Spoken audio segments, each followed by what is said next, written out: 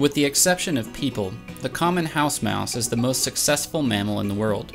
It breeds rapidly, survives on a broad variety of food, requires very little water, and can adapt to nearly any habitat.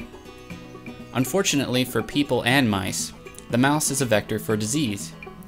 In addition, the presence of mice can create unhealthy indoor environments.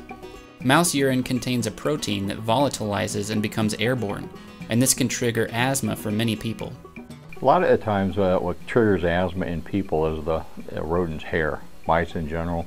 Uh, they shed a lot of uh, hair and with that they excrete urine and as that gets stirred up into the air, now you have to have a pretty good sized population for that to happen. But if the population continues to grow, it gets airborne and as it gets airborne, those people who are asthmatic pick that up and it's an allergenic to them at that point.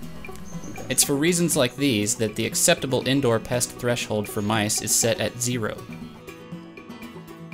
Just like people, mice like comfortable indoor environments and are drawn to spaces that are maintained at favorable temperatures and which contain edible items. This means that if your building is poorly sealed, it is highly vulnerable to mouse invasion. To make matters more difficult, mice are skilled at finding entry points. They are excellent climbers and can run vertically up certain surfaces. They can move along wires, utility cables, or ropes, and can jump up to 12 inches. And they can squeeze through incredibly small openings. A hole as big as a dime, or a crack the width of a pencil, is a possible mouse entry point. If you can take the end of your little finger and stick it in a hole, a mouse can get in. So they're very opportunistic. They'll smell things, they'll smell the warmth, and as they do, if they can smell it, they can normally get into it because rodents are the only thing that can modify your home. Their incisors chew their front two teeth, and if they think they can get in, they'll start chewing on it until they can get in.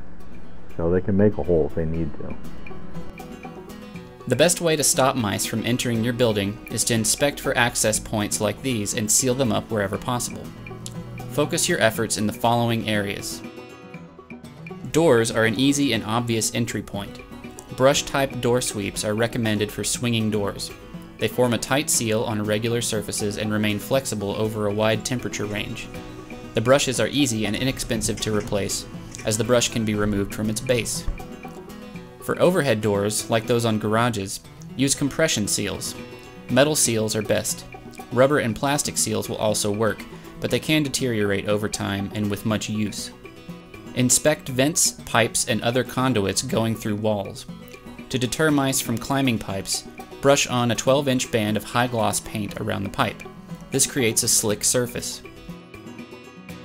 Stuff large holes and cracks with copper mesh, and seal crevices with silicone or acrylic urethane product.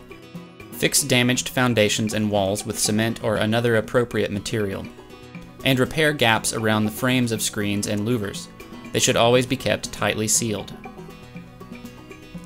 For more information about how to solve an existing mouse problem, eliminate harborage, or safely handle dead mice, please see NCAP's other videos.